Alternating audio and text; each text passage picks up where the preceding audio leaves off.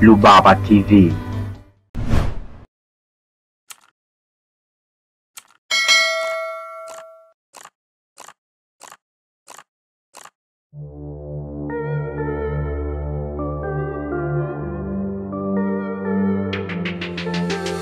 Karibu mpenzi mtazamaji wa lubaba TV, na hii ni siku nyingine tena ambayo tunakutana hapa hapa ndani ya lubaba TV kupeana maarifa mbalimbali kuhusiana na kilimo na ufugaji. Na leo na somo mahususi kwa ajili ya wafugaji wa nguruwe. Somo la leo ni muhimu sana kwa wafugaji wa nguruwe kwa sababu nitakuelezea kama kichwa kinavyosema, nitakuelezea miko ya ufugaji wa nguruwe au vitu ambavyo utakiwi kuvifanya pale unapokuwa unafuga nguruwe. Kwa cha msingi, kama bado hujasubscribe, fanya kusubscribe na kubofya alama ya kengele, lakini pia mjulishe na mwenzako ili naye aweze kujifunza vitu kadha wa kadha ambavyo tunaviweka hapa ndani ya Rubaba Na bila kupoteza muda, na nataka tu nikuelezee kwa haraka haraka ili wewe uweze kufahamu na nisikuchukulie muda mwingi.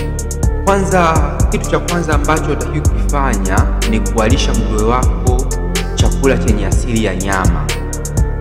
Mtu unaweza kuwa unajiuliza kwa nini nguruwe wako atakikulishwa chakula cha chenye asili cha nyama. Ni kwa sababu tu ki, kitaalamu haitakiwi nguruwe kuwa anakula bidhaa ambazo zinatokana na nyama, licha ya kuwa ukimpa bidhaa ambayo inatokana na nyama, sio kwamba ataacha kula, atakula vizuri, lakini haitakiwi tu kufanya hivyo. Na kitu kingine ambacho nataka kufahamu ni kwamba endapo ukianza kumzoesha nguruwe wako kumpa chakula cha bidhaa ya nyama, basi inaweza ikawa hata ni hatari kwako pia, kwa sababu hata siku anaweza akaja akakujeruhi. Kwa mfano, wewe fikiri, labda una tabia ya kumpa nyama mbichi, endapo labda kuku akipita jirani au hata wewe ukienda vibaya, basi anaweza akakujeruhi usipokuwa makini. Sasa hicho ni kitu cha msingi cha kwanza ambacho wewe unatakiwa kufahamu, na kitu kingine cha pili ambacho pia ni cha msingi sana na yamkini kama ulikuwa kufahamu, basi ni, na, ni nafasi nzuri ya kufahamu ni kwamba hutakiwi kupandisha nguruwe ambao wanatoka katika ukoo mmoja. Yaani hapa na maana kwamba asi, yani nguruwe unaowapandisha wasitoke katika ukoo mmoja, na hata kama wasiwe na mahusiano ya kiundugu, kwa mfano kaka na dada. Kama ulishawahi kufanya hivyo, basi nadhani wewe sio mgeni wa matokeo yake moja kwa moja hata watoto ambao watazaliwa hawawezi kufika mahali, kwa sababu watazaliwa na mapungufu makubwa. Anaweza akazaliwa ana manyoya, lakini anaweza akazaliwa labda macho hayaoni, lakini pia anaweza akazaliwa na matatizo mbalimbali. Yaani kiufupi tu hawezi kukua. Hicho ni kitu ambacho tunatakiwa kufahamu. Ni kama ilivyo kwa binadamu kwamba hutakiwi yani kuzaa na ndugu yako, basi hata kwa nguruwe pia hicho ni kitu cha biolojia kabisa kwamba haitakiwi.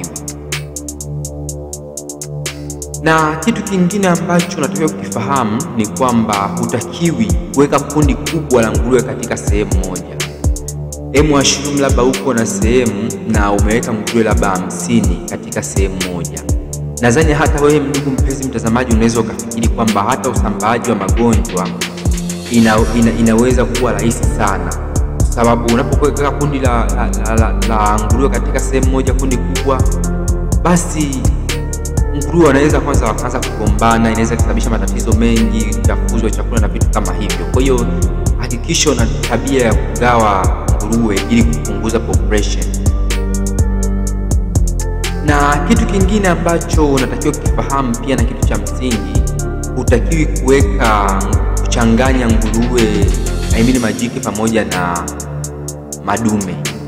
Kwa sababu gani?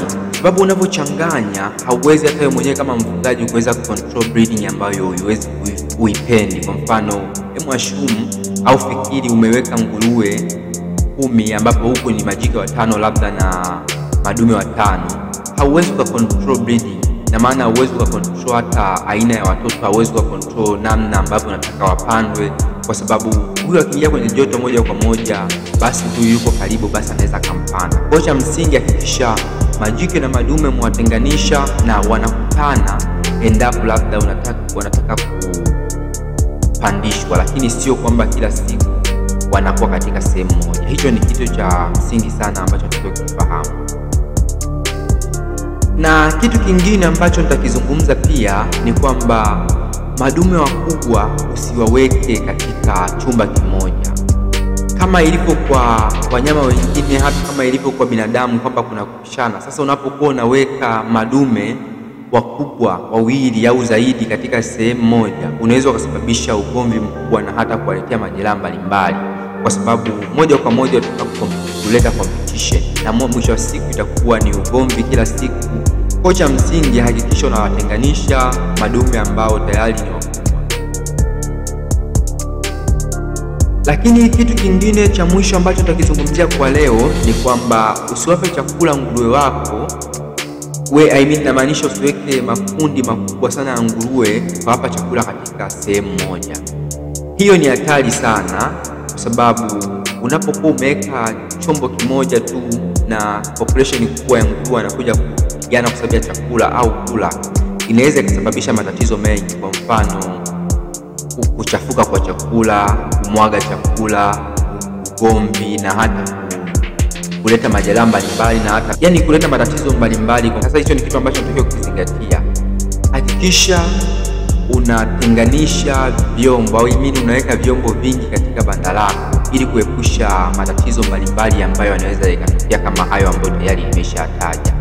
Katika chumba kimoja kama basi kuna nguruwe wengi hata watano sita, hakikisha basi unaweka vyombo hata viwili vitatu kwa ajili ya kuweza kuakomodeti nguruwe hao wote, lakini sio wote tu unaweka katika sehemu moja. Lakini kitu kingine pia sio vyombo vya chakula tu, hakikisha hata vyombo vya maji pia vinakuwa vya kutosha na pia vinakuwa ni havipo karibu na chombo cha chakula, kwa sababu unapoweka karibu pia inaweza ikawa ni uchafuzi, lakini pia inaweza ikawa ni, ni, ni, ni, ni vurugu. Kwa cha msingi hakikisha unatenganisha kidogo upande wa chakula pamoja na upande wa maji lakini pia hakikisha unaweka vyombo ambavyo vina idadi sawa kulingana na idadi ya nguruwe. Ni tumaini langu umejifunza, na usiache kusubscribe na kubofya alama ya kengele, na kama una kitu cha kuchangia pia ni jema ukachangia. Naitwa Imani Rubaba na hii ni Rubaba TV. Mpaka wakati mwingine, na asante.